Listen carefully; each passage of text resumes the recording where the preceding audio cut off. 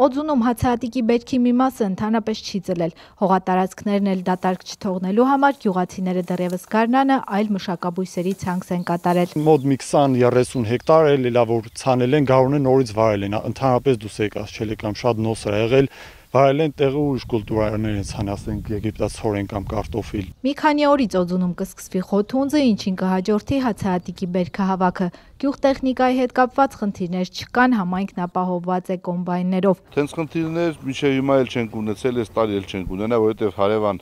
համայնքներից նաև ինչը որ մեզ մոտ հիմնականում ծորենի հնձող կոմբայնի խնդիր է լինում, հարևան համայնքներից միջև ընդեղ իրանց մոտ սկսվել է, մեր մոտ գալիս օգնում են, նորմալ է։ Հացահատիկի անորակ բերքը հաշվի առնելով օձունում այս տարի եգիպտացորենի ցանկատարածություններն են ավելացել, իսկ հացահատիկի եղած բերքից ակնկալիքները մեծ չեն։ Միջատ կար, որը որ փչացնում էր ցանքսերը, հա դա էլ որոշակի մաս կազմեց, բայց մնացածները, որոնք որ չի վնասել, ինձ թվում է, այս եղանակային պայմանները թույլ են տալիս, որ